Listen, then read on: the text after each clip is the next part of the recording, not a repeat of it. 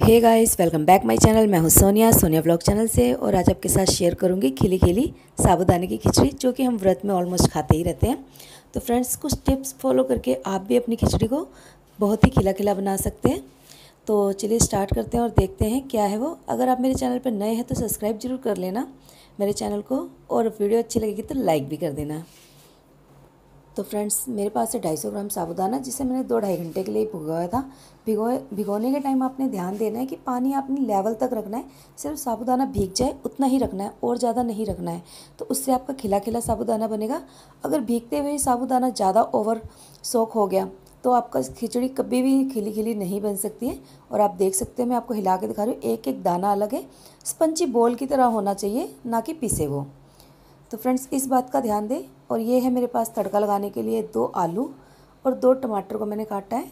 दो तीन हरी मिर्ची है, ये बड़ी बड़ी हरी मिर्ची थी और छोटे से एक कप मूंगफली के दाने और एक नींबू लूँगी ताकि ये डाइजेस्ट हो जाए। थोड़ी सी धनिया की पत्ती ले रही हूँ और व्रत का नमक, भुना पिसा जीरा और काली मिर्ची, ये दोनों घर के पिसे हैं। और ये है साबुत जीरा तड़का लगाने के लिए और लाल मिर्ची रिफाइंड यूज़ करूँगी। तो कढ़ाई में मैं रिफाइंड डाल के अच्छे से गर्म कर लूँगी। फिर इसके अंदर अपनी मूँगफली डाल के इसको एक से डेढ़ मिनट, बहुत ज़्यादा ज़्यादा दो मिनट तक। कच्ची मूँगफली होती है, इसे एक बार हमें फ्राई कर लेनी चाहिए, नहीं तो गला ख़राब होने के चांसेस ज़्यादा रहते हैं।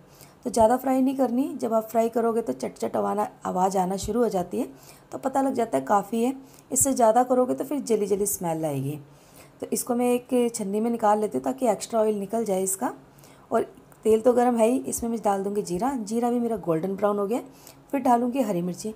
हरी मिर्ची को एक मिनट के लिए फ्राई कर लूँगी ताकि उसका तीखापन थोड़ा कम हो जाए। और आलूओं को भी करूँगी फ्राई फ्राई करने से आलू का टेस्ट काफ़ी अच्छा आ जाता है। इस बात का आप ज़रूर ध्यान दें और आप भी इसी तरीके से फ्राई करके बनाएँ। तो फ्राई ज़रूर करें आलू को। और साथ में मैं डाल दूँगी इसमें टमाटर। टमाटर डालने के बाद डालूँगी नमक। टेस्ट के अकॉर्डिंग नमक डालना है। आपकी साबुदाना जितना है आप उस हिसाब से ले सकते हैं। भुना पिसा जीरा लिया, आधा चम्मच। और आधे चम्मच से भी कम मैंने लिए काली मिर्ची, क्योंकि अभी लाल मिर्ची भी जाएगी और फिर जाएगी। हरी मिर्ची भी गई है तो उसके हिसाब से लूँगी। और अब मैं इसमें डाल दूँगी मूँगफली के दाने और इसे थोड़ी देर के लिए ढक के पकाऊँगी। ढक के पकाने से टमाटर बहुत जल्दी गल जाते हैं और टाइम भी टाइम की भी बचत हो जाती है। तो ये देखिए, मैं चेक करके दिखा रही हूँ आपको कि टमाटर अपनी स्किन छोड़ चुका है, काफ़ी गल चुका है। अब बस मैं थोड़ा से अपनी जो पौनी है, उससे मैश करके दिखाऊँगी आपको। ये देखिए मिक्स हो चुका है। और अब मैं डाल दूँगी साबुदाना। साबुदाने के बीच में ही मैंने धनिया पत्ती डाल दी थी, क्योंकि इन चीज़ों को हम ना ज़्यादा चला नहीं सकते ज़्यादा चलाने से ही ये टूटते हैं। टूटने के बाद ये चिपचिपाहट छोड़ देगी। तो चलाने का भी आप देख सकते हो, मैं पोनी के ऊपर लेके फैला रही हूँ। तो इस तरीके से फैलाओगे तो आपकी साबुदाना कभी नहीं चिपकेगी। तो मेरी साबुदाने की रेसिपी जो भी थी, इसी तरीके से थी। ये अच्छे से मैंने ढक के पका लिए ताकि थोड़ा बहुत साबुदाना कच्चा है तो वो भी पक जाए। नींबू डाला है मैंने, एक नींबू पूरा लिया है। आप साबुदाने की क्वांटिटी के हिसाब से लें।